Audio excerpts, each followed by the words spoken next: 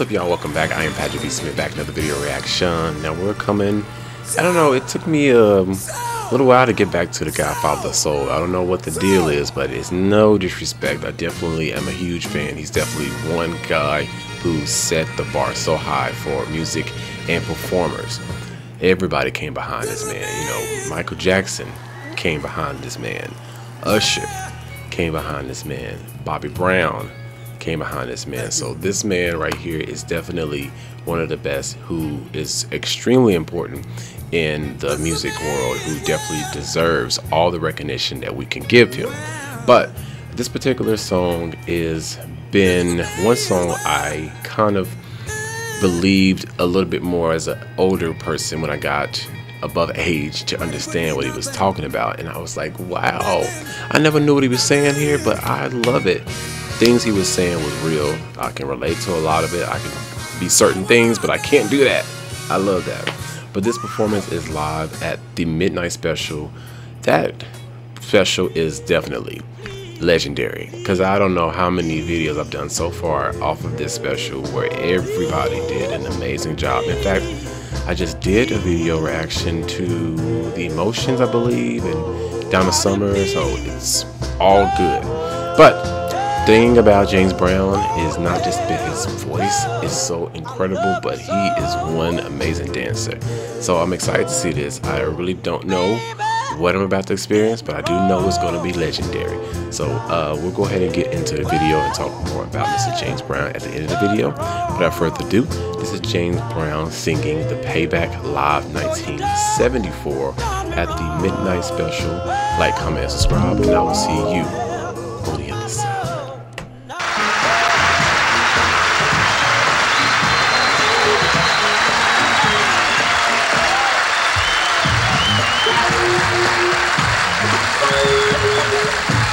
Payback! Payback!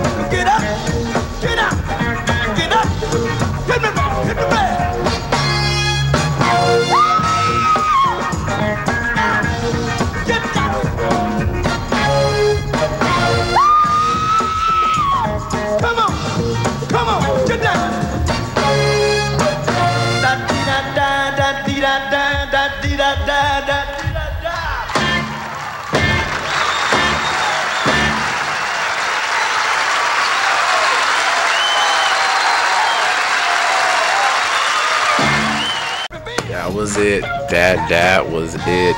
Damn.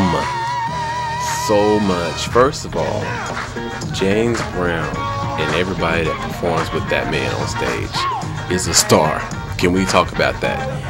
And I don't know the woman's name, the one backup singer that was doing that high note. Whoever she is, you know her name, please comment her name down there. I would like to fully give her all types of respect because she did her thing. At first, I thought it was the instrument, and then I was like, is it the instrument? But then when they showed her, and I was like, the woman is hitting that note. Come on. That's so underrated.